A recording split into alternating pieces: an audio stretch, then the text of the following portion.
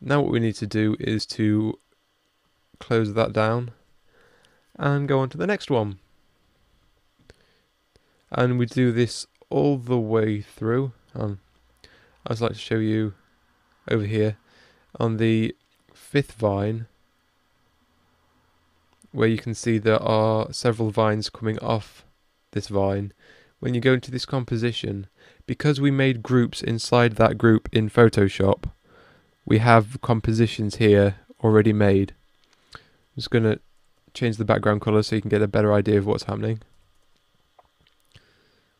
And then we can see the different vines. And if we go into double click those compositions,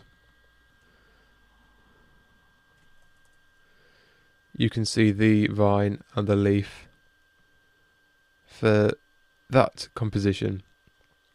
And you just need to go through doing the same thing, taking the pen tool, zoom in a little bit, and then,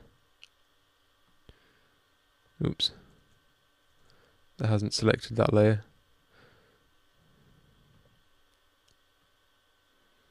And just making a mask for it, and then pressing M to open the mask path, Command copy to copy that and then drag on the Write-on effect to the vine.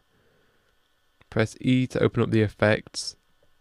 Go to the drop down menu, go to the brush position and then Control V to paste in those keyframes. And you can see the brush working along there.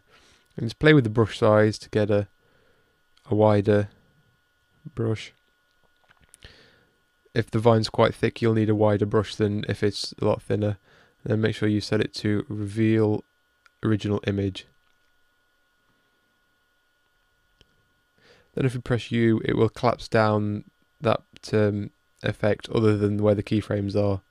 So you can just play around with that. You might want to make that one quite short because it's not very long.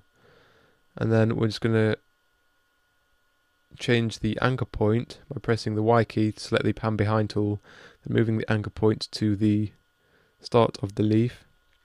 Make sure that you have the leaf not appearing before the vine has gotten to the point where the leaf is. And we're just going to move that along the timeline. I'm going to press S to open the scale parameter. And I'm just going to use command and the right key to go forward a few frames to where I want it 100%. Click the stopwatch, go back a few frames so there's 110. Go back to the start of where the leaf appears, set that as zero. And then we should have another vine and leaf animation. And then when you've gone through all of the vines and the leaves, it should end up with something that looks like this. And as you can see from the start of the timeline, all of the vines and the leaves will appear and animate out. Now that's pretty cool, except they all start at the same time. As you can see here, we have vines and leaves that have pretty much finished, and the main vine hasn't even got there. So we need to stutter all of these so they all start at different times. We're going to need the main vine starting first, obviously, and then the second vine makes it starts off here. We can probably bring that down a bit to about there.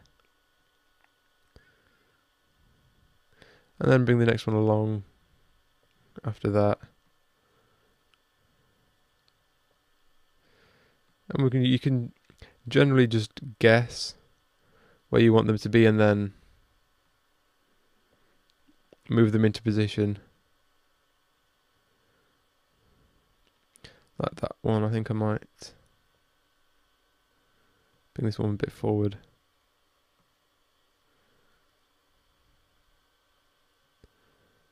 that next one.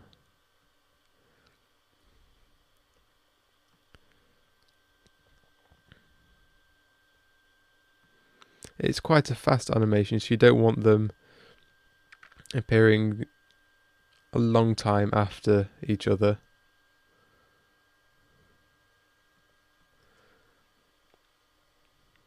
And there we have our finished growing vine animation. Now you can do lots of different things with this. If you want to make a new composition,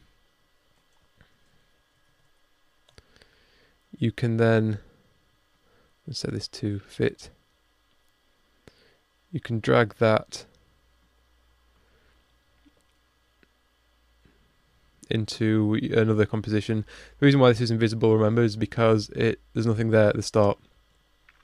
So you have to move it along so you can see where the vine will be. And you can use this and you can like, command D to duplicate it and then play around with the positioning and the scale and you can have duplicate as much as you like, make it smaller, make it appear that it is a vine growing off your original vine. And then again just stutter these so they're not at the same time if you wish. And then watch them grow. And you end up with something a bit like this. I've been Adam from DudeInADrama.com and I've just shown you how to animate vines in After Effects.